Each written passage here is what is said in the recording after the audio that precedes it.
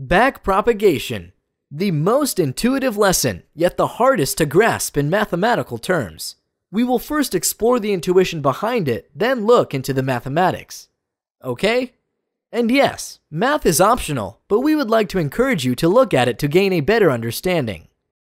You shouldn't skip this lesson though, as it's the fun part of backpropagation. First, I'd like to recap what we know so far. We've seen and understood the logic of how layers are stacked. We've also explored a few activation functions and spent extra time showing they are central to the concept of stacking layers. Moreover, by now, we have said a hundred times that the training process consists of updating parameters through the gradient descent for optimizing the objective function. In supervised learning, the process of optimization consisted of minimizing the loss. Our updates were directly related to the partial derivatives of the loss and indirectly related to the errors, or deltas as we called them. Let me remind you that the deltas were the differences between the targets and the outputs. Alright, as we will see later, deltas for the hidden layers are trickier to define. Still, they have a similar meaning. The procedure for calculating them is called backpropagation of errors. Having these deltas allows us to vary parameters using the familiar update rule. Let's start from the other side of the coin, forward propagation. Forward propagation is the process of pushing inputs through the net. At the end of each epoch, the obtained outputs are compared to the targets to form the errors. Then, we backpropagate through partial derivatives and change each parameter so errors at the next epoch are minimized. For the minimal example, the backpropagation consisted of a single step, aligning the weights given the errors we obtained. Here's where it gets a little tricky. When we have a deep net, we must update all the weights related to the input layer and the hidden layers. For example, in this famous picture, we have 270 weights. And yes, this means we had to manually draw all 270 arrows you see here. So, updating all 270 weights is a big deal. But wait, we also introduced activation functions. This means we have to update the weights accordingly, considering the used nonlinearities and their derivatives. Finally, to update the weights, we must compare the outputs to the targets. This is done for each layer, but we have no targets for the hidden units. We don't know the errors. So how do we update the weights? That's what backpropagation is all about. We must derive the appropriate updates as if we had targets.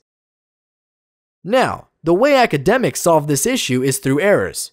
The main point is that we can trace the contribution of each unit, hidden or not, to the error of the output. Okay, great. Let's look at the schematic illustration of backpropagation shown here. Our net is quite simple. It has a single hidden layer. Each node is labeled, so we have inputs x1 and x2. Hidden layer units, output layer units y1 and y2, and finally, the targets T1 and T2. The weights are W11, W12, W13, W21, W22, and W23 for the first part of the net. For the second part, we named them U11, U12, U21, U22, U31, and U32, so we can differentiate between the two types of weights. That's very important. We know the error associated with y1 and y2, as it depends on known targets. So let's call the two errors E1 and E2. Based on them, we can adjust the weights labeled with U. Each U contributes to a single error. For example, U11 contributes to E1. Then, we find its derivative and update the coefficient. Nothing new here. Now, let's examine W11. W11 helped us predict H1.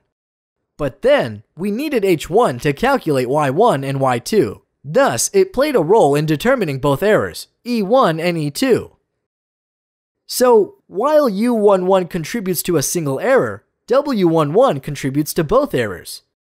Therefore, its adjustment rule must be different. The solution to this problem is to take the errors and backpropagate them through the net, using the weights. Knowing the U weights, we can measure the contribution of each hidden unit to the respective errors. Then, Once we've found out the contribution of each hidden unit to the respective errors, we can update the W weights. So essentially, through backpropagation, the algorithm identifies which weights lead to which errors. Then, it adjusts the weights that have a bigger contribution to the errors by more than the weights with a smaller contribution. A big problem arises when we must also consider the activation functions. They introduce additional complexity to this process. Linear contributions are easy, but nonlinear ones are tougher. Imagine backpropagating in our introductory net. Once you understand it, it seems very simple. While pictorially straightforward, mathematically, it is rough to say the least. That is why backpropagation is one of the biggest challenges for the speed of an algorithm. For more videos like this one, please subscribe.